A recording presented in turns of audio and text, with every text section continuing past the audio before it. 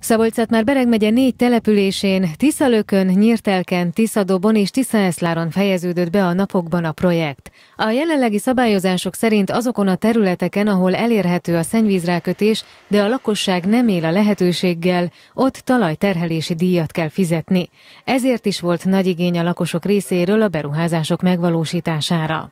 Tiszalökön egy bővítés, a területünknek egy körülbelül egyharmad részé még nem volt képítve a szennyvíztisztító rendszer, ott a csatornahálózat bővült ki, illetve a mögöttünk látható tisztító gyakorlatilag duplájára bővült. Ennek az az oka, hogy Tisza Eszlár eh, szennyvíze is ide fog hozzánk, vagy most már jelen időben is mondhatom folyik hozzánk, tehát Eszláron is egy teljes képítettség eh, született meg, nem volt náluk sem tisztítva a szennyvíz, úgyhogy nekik ez egy új vagy nagy élmény, és eh, Nyírtelken is egy bővítés mind a hálózat, mind pedig a tisztítás tekintetében.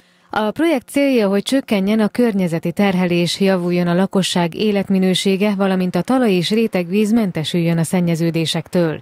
Itt Tiszadobon 1,3 milliárd forintból egy teljesen új szennyvíztisztítót építettek, valamint kiépült a csatornahálózat. A település alatt egy ivóvízbázis helyezkedik el, ennek megmentésére szorgalmazta a település a beruházást. A telepnek a kapacitása pillanatnyilag csak Tiszadob ellátására van megépítve, ami a, ami a technológiai részt érinti, ez 360 köbméter szennyvíz, napi szennyvíz befogadására alkalmas, ami természetesen azt is jelenti, hogy ezt a szennyvíz mennyiséget 24 órában meg is tudja tisztítani.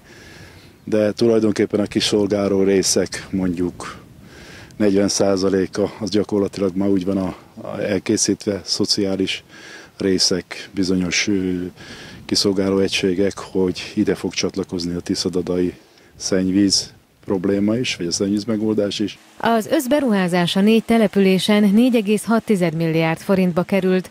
A projekt végére a támogatás intenzitása 95%-ra növekedett, ami azt jelenti, hogy a rákötések nem jelentenek anyagi terhet a lakosságnak.